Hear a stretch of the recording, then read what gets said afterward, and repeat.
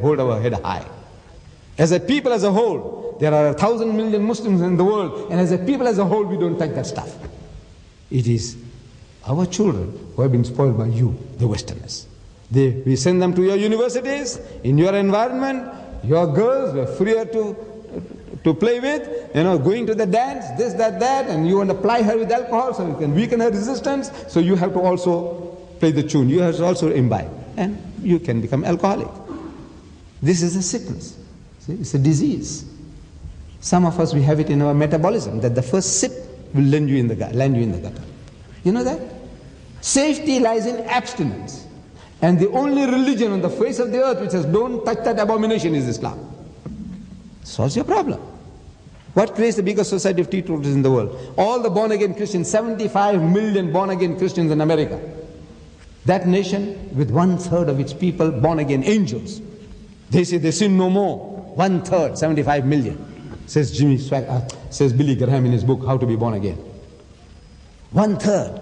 And this is having no effect on the people. 55 million drunkards in a nation with 75 million born again.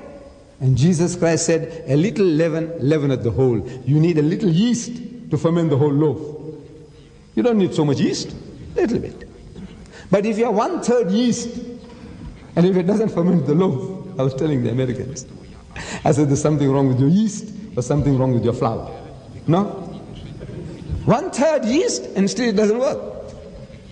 With us, we have our shortcomings. We are not angels. But let us be exemplars. Let us preach, because when you start speaking, it is conducive to us changing our own lives. You can't benefit, I mean, you can't change.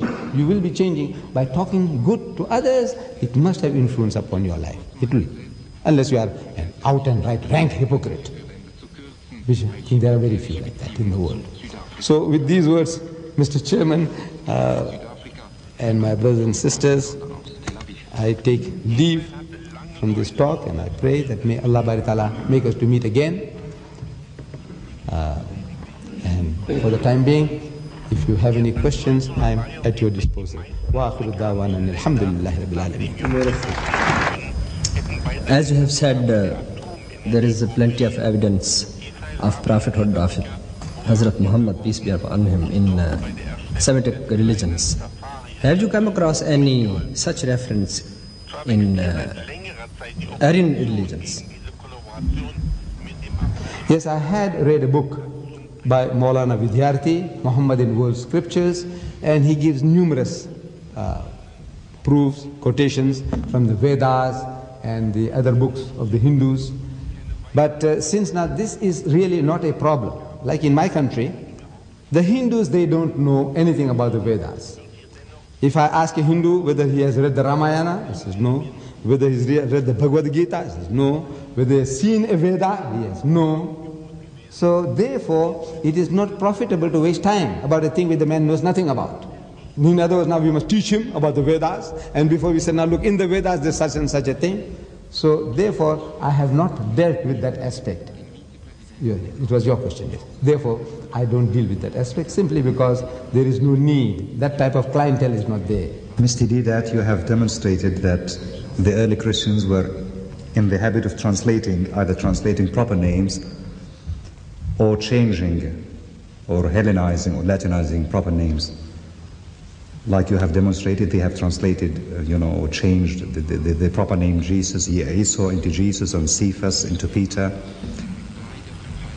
So I think probably it would be very useful, you know, for the other people if you could touch. We can assume, I mean, you have demonstrated actually that in English, only in English, in, in, in the various versions of the Bible, you have three, three names, three translations of, of the person who is spoken of in the, in the verse of John which you have read. One is advocate, one is uh, uh, comforter, and the other one is a counselor. And I mean, in my knowledge, in my reading of, of some comparative religion, I, I know that, I, that the Greek word is, is parakletos. I have also read in some Islamic literature, or some Muslim scholars assume that the original word, which I also assume, the Greek word parakletos, which must have been translated either from Aramaic or Hebrew, that in turn it has been either distorted or deliberately changed by the early Christians so that, would, that they would preclude any prophecies after Jesus. Could you possibly elaborate a little bit on the word parakletos? Because I have read that it was supposed to be parakletos, which means the praised one. Could you please elaborate for the benefit of those people who have something to say about this? Thank you. Yeah, in the current Greek scriptures, the word there is parakletos. Parakletos, which is, means comforter, it can be translated advocate, it can be translated counselor. But in classical Greek, there is no such word as parakletos. The classical Greek is perikletos, and perikletos means the exact translation of Muhammad, the praised one. So this is what our scholars say, see, that the word ought to be perikletos and not parakletos. And it is an perikletos is an exact translation. Muhammad, the praised one, perikletos, meaning the praised one. I hope that clarifies your question, yes. Bismillah ar-Rahman I will seek your indulgence to ask a small... A little louder so people can yeah. uh, There's a small point which I wanted clarification on and an elaboration upon. I, during my study of this subject which you had taken up, had come across two particular predictions uh, which I vaguely remember now, which you can elaborate upon because of your uh, intense and extensive knowledge of uh, the Bible and the Old Testament. And two instances wherein the advent of Prophet Muhammad is mentioned in either the Old or the New Testament. One is the geographical location in Faran, which is mentioned uh, in the Bible, in, in, in, in the Testament. And the other is a mention of seven thunders, which is which I read in a commentary refers to the seven verses of Surah Fatiha. Now, if you kindly, if I, I, I recollect these two instances correctly, if you could kindly elaborate upon these two instances. Thank you. I think I remember saying at the outset that there are numerous prophecies in the Bible. There is a mention about 10,000 saints. There is about Kedar, which is Arabia, tribes of uh, the, the, the Quraysh, and so on. There are numerous prophecies in the Bible as it exists regarding Islam and regarding the Holy Prophet Muhammad. But I believe that it is not profitable to generalize like that.